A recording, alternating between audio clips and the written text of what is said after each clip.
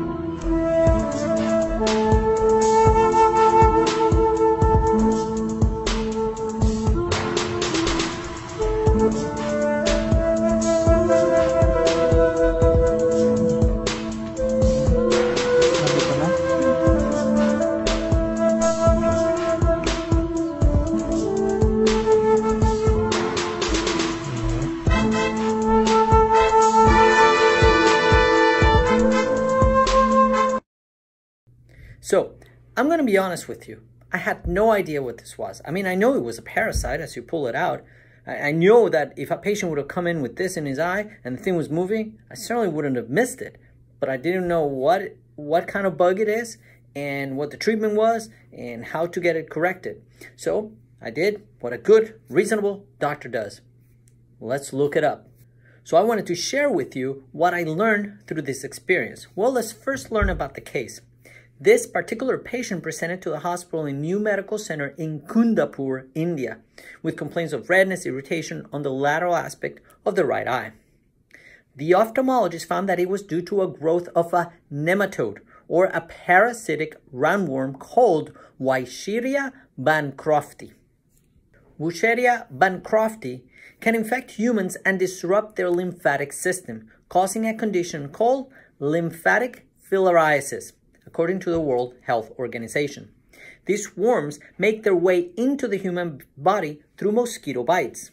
When the infected mosquito bites someone, it transmits the parasitic larva, which then travels through the body's lymphatic system. The lymphatic system is a network of vessels, almost like your veins, but smaller, and it's throughout your whole body. And the purpose of the lymphatic system is to fight infection. In this case, it doesn't. It carries the infection.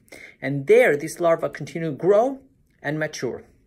The acute manifestations of lymphatic filariasis include acute adenolymphangitis, filarial fever, and tropical pulmonary eosinophilia. Chronically, it can show as lymphedema, which is swelling of the whole body, hydrocele, which is swelling at the testicle level, and renal involvement.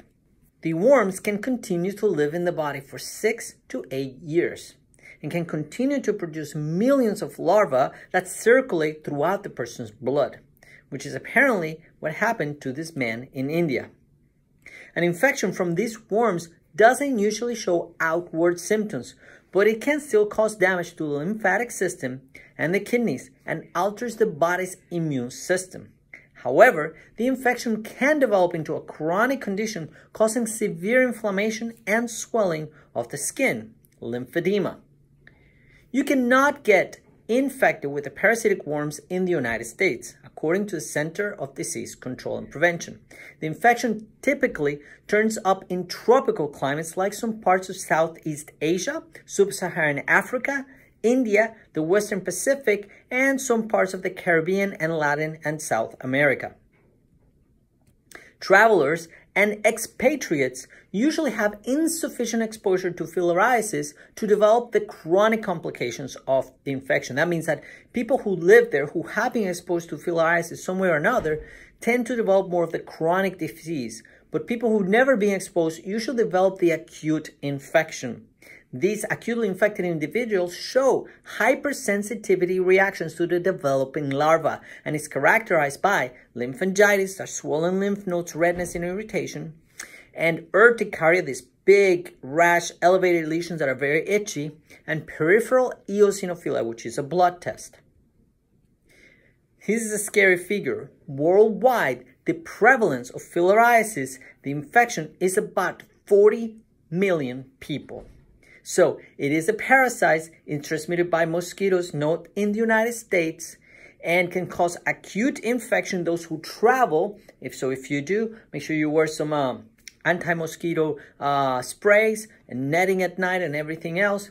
And if you develop this edema or swelling, these uh, itchy rashes everywhere, or any kind of chronic unspecified rash with um, kidney problems all of a sudden, make sure they check your blood. There are blood tests, there's smears of the blood to take a look at it uh, because it might not show up externally like it did on this patient.